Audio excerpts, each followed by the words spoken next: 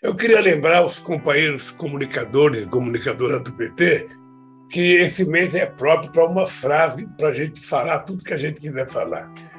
Ah, os poderosos ou os nossos adversários poderão tentar matar uma, duas ou três rosas, mas eles não conseguirão deter a chegada da primavera. E nós estamos no meio da primavera. No dia 22 ou 23 começa a primavera e logo, nove dias depois de começar a primavera, tem eleição. Ou seja, as rosas estarão todas, todas exalando o mais importante perfume que uma rosa pode produzir.